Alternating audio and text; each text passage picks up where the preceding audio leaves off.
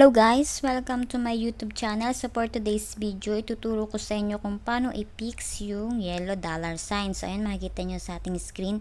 Nung bagong monetize ako, napansin ko ang daming yellow, yellow dollar sign sa aking mga videos.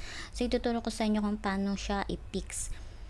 First of all, sa Google Chrome, i-online nyo ang inyong YouTube sa inyong Google Chrome, sa inyong cellphone, or sa inyong laptop. And then, pagka-online nyo na inyong YouTube channel, punta kayo sa inyong Creator Studio. So, i-click nyo and then go to Creator Studio.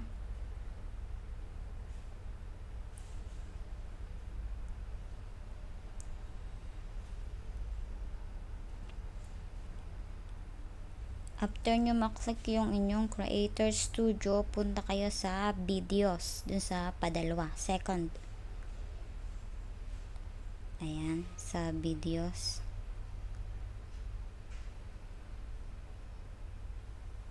So, ayan, makikita nyo yung mga videos nyo dyan. Y- kung alin yung may yellow dollar sign, So, hanapin nyo po yung, yan, kagaya po nitong aking live stream, mayroon siyang yellow dollar sign. So, So, i-click nyo lang yung add suitability and then makikita nyo request review. And then, i-click nyo yung box. So, mag-automatic check na siya and then request review. So, lahat ng video nyo na may dollar sign, lahat yon ganun yung gagawin nyo. So, ang dami kong may yellow dollar sign. Ito yung kagaya nung video ko ng puto medyo malabo yung screen recorder ko. Pasensya na kayo guys. Pero, ayan. So, ayun. I-click-click nyo lang yung dollar, yung may yellow dollar sign. So, ayan. Makikita nyo. And then, i-click nyo yung add suitability.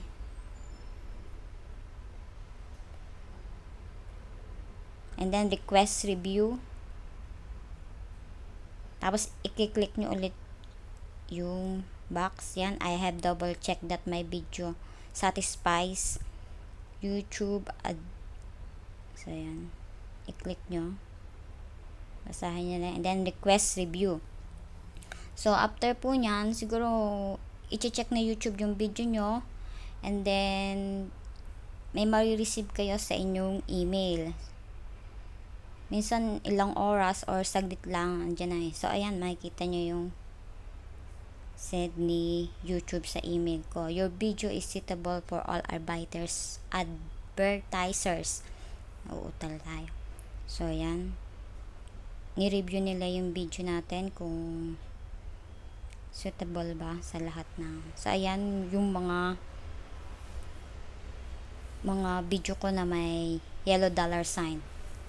So, ang dami nila. Kaya, sayang kasi yung kasi pag may yellow dollar sign, ibig sabihin nun, konti lang yung ads na lalabas sa video nyo. Or baka nga yung iba yata walang ads. Hindi ako sigurado, pero yun yung nabasa ko, hindi ko lang na-screenshot.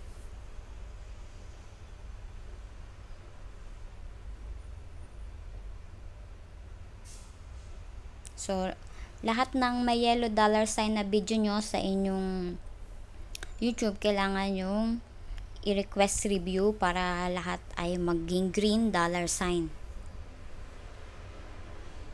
So, ipapakita ko ulit sa inyo yung aking mga videos kung may yellow dollar sign pa ba.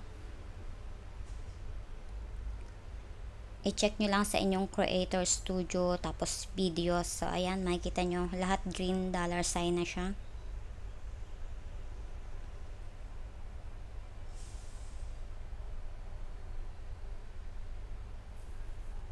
So, pagka-upload nyo lagi ng video, lagi nyo i-check kung merong yellow dollar sign. Kasi, ini-check nyo ni YouTube. So, kung may yellow dollar sign, ganun ulit. Request review lang ulit kayo.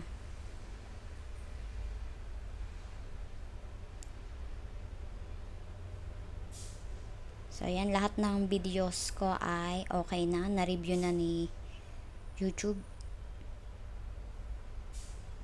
Salamat sa panonood. Sana may natutunan kayo sa aking video and huwag niyo pong kalimutang i-like at i-subscribe ang aking YouTube channel. Salamat. Bye-bye.